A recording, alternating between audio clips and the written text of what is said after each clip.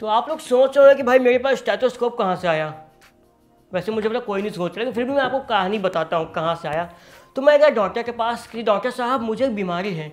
मैं कोई भी इंटरेस्टिंग चीज़ देखता हूँ तो मुझे उसे ओपन करने का मन करने लगता है। तो डॉक्टर बोले, तुम मेरे पास क्यों आए हो? मैं इसका क्या करूँ? मेरे पास का इलाज नहीं है। तो मैंने कहा, मैं आपसे इलाज करवाने नहीं आया हूँ। मैं तो आपका स्टैथोस्कोप छीनने आया हूँ और मैं उनसे छीन के ले आया। तो इस तरीके से मेरे पास आ गया स्टैथोस्कोप ताकि मैं बना पाऊँ इसका वॉट्स इनसाइड वीडियो तो। हे दोस्तों, आप लोग बी फॉर वीडियो आज के इस वीडियो में हम लोग इस स्थेटोस्कोप को ओपन करके देखने वाले हैं और देखेंगे भाई इसके अंदर क्या होता है। काफ़ी इंटरेस्टिंग ये वीडियो होने वाला है। दोस्तों वीडियो में आगे बढ़ने से पहले मैं आपको बहुत ही मस्त ऐप के बारे में बताना चाहता हूँ, जिसका नाम है रमी सर्कल जिसमें आप लोग रमी खेल के सिंपली रियल कैश जीत सकते हैं। इसमें रमी सीखना और खेलना बहुत ही आसान है। साथ ही पहली बार रजिस्टर करने पर आपको मिल जाएगा 100 परसेंट वेलकम बोनस और दोस्तों, आप लोग स्क्रीन पे देख सकते हैं कि इसे खेलना और जीतना कितना आसान है। साथ ही भाई से ग्राफिक भी एकदम ज़बरदस्त है हाई क्वालिटी के हैं। तो आप लोग खुद से देख सकते हैं कि आप लोग किस तरीके से कैश जीत सकते हैं। और यही नहीं, इसमें जीते हुए पैसों को आप लोग कुछ ही सेकंड में अपने बैंक अकाउंट में ट्रांसफ़र कर सकते हैं। साथ ही इसका ट्रांजेक्शन भी काफ़ी ज़्यादा सिक्योर्ड है। तो है ना कितनी अमेजिंग बात? तो बहुत सारे लोगों ने रमी सर्कल में रमी खेला है और कैश जीता है। और यकीन मानिए आपको भी रमी सर्कल में रमी खेलने में और कैश जीतने में बहुत मज़ा आएगा। और मैंने डिस्क्रिप्शन में रमी सर्कल की लिंक दे दिया, आप लोग वहाँ से जाकर डाउनलोड कर सकें और भाई बिल्कुल फ्री है और आपको बहुत मज़ा आने वाला है इसमें रमी खेल के। तो दोस्तों, इससे पहले मैं इसे ओपन कर डालूँ, इसके अस्थि पंजर निकाल डालूँ। मैं आपको इसके बारे में थोड़ा बहुत बता देता हूँ कि भाई ये वर्क कैसे करता है और इसके पार्ट भी दिखा देता हूँ कि इसमें कौन कौन से पार्ट हैं। तो सबसे पहले तो इसके ऊपर का हिस्सा, जहाँ पे एयर ट्यूब है और भाई ये एयर पीस है। ये कान में बहुत ही अच्छी तरीके से फिट हो जाते हैं और हमें बिल्कुल साफ़ साफ़ आवाज़ सुनाई पड़ती है दिल की धड़कन की। और यहाँ पे जो ट्यूब दिख रही है, ये एकदम हॉलो ट्यूब है, एकदम खाली ट्यूब है, इसके अंदर कुछ नहीं है। अब आते हैं इसके मेन हिस्से पे, जो कि है ये चेस्ट पीस यहाँ पे इसके आगे के हिस्से को बोलते हैं डायफ्राम पीछे के हिस्से को बोलते हैं बेल और यहाँ पे आगे लगी हुई है एक प्लास्टिक डिस्क तो अभी मैं आपको बताता हूँ कि भाई ये वर्क कैसे करता है। तो जब हमें हाई फ्रिक्वेंसी की साउंड सुनना होता है, जैसे कि दिल की धड़कन तो इसके इस वाले सिरे को पेशेंट के पास इस तरीके से लगा देते हैं। तो इससे होता ये है कि जो प्लास्टिक डिस्क लगी हुई है, ये वाइब्रेट होने लगती है और इससे एकॉस्टिक प्रेशर वेव क्रिएट होती हैं।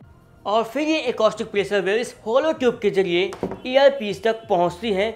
जिसे कि डॉक्टर सुनता है और समझता है और जानता है कि भाई क्या दिक्कत है पेशेंट को। और इसके अलावा जब डॉक्टर को लो फ्रिक्वेंसी का साउंड सुनना होता है तो वो इस सिरे का यूज़ करता है बेल का। इसके लिए क्या करता है, वो इस पार्ट को घुमा देता है। घुमाने के बाद इसे वो स्किन के पास ले जाता है, जहाँ पे भी सुनना हो। तो जो स्किन है स्किन ही direct acoustic pressure wave create करती है, जो कि डायरेक्ट इस होलो ट्यूब के ज़रिए हो के डॉक्टर के कान तक पहुँच जाती है। और डॉक्टर समझ जाता है कि इसके अंदर क्या हलचल है? तो भाई, अभी तक हमने जाना इसके बारे में थोड़ा बहुत, और वैसे ये इलेक्ट्रॉनिक भी आते हैं, लेकिन सबसे ज़्यादा ये अकॉस्टिक वाले ही यूज़ किए जाते हैं। बहुत ही चीज़ है वाकई में। तो चले आप सीधा इसे ओपन करके देख ही लेते हैं, बहुत इंतज़ार हो गया। और हाँ अगर किसी को लेना है तो भाई इसकी लिंक मैं आपको वीडियो को डिस्क्रिप्शन में दे दूँगा, बहुत ही सस्ता है, इतना भी महँगा नहीं। डॉक्टर मॉर्फिन कंपनी का केवल ढाई सौ रुपये का लिया था मैंने तो लिंक डिस्क्रिप्शन में है। तो सबसे पहले मैं आपको ये वाला हिस्सा इसका ओपन करके दिखाता हूँ। इसके आगे ईयर वाला देखना आप लोग। यहाँ पे कुछ भी नहीं है। एक प्लास्टिक का रबड़ लगा हुआ है ट्यूब और जैसे कि ईयरफोन्स में होता है और सिंपली एक हॉलो खाली ट्यूबिंग ही है। तो अभी मैं आपको ये यहाँ से निकाल के दिखाता हूँ। इसे निकालने में भाई बहुत ताकत लगने वाली है। ओ, तेल की खाली, आज खाली की ज़रूरत पड़ेगी। हो भैया। लास्ट निकालना पड़ेगा। तो, तो बड़ी मेहनत लगी लेकिन अभी भी निकल नहीं रहा है। ऐसा करता हूँ मैं इसे सीधा काट देता हूँ। लेकिन आपको वीडियो को लाइक करना पड़ेगा तो फटाक से वीडियो को अभी से लाइक कर दो। तो एक कट मारूँगा मैं यहाँ पे और कट जा रे कट जा देखो यहाँ पे कट गया। सिंपली होल है यहाँ पे और यहाँ से इसे कट करने की कोशिश करता हूँ।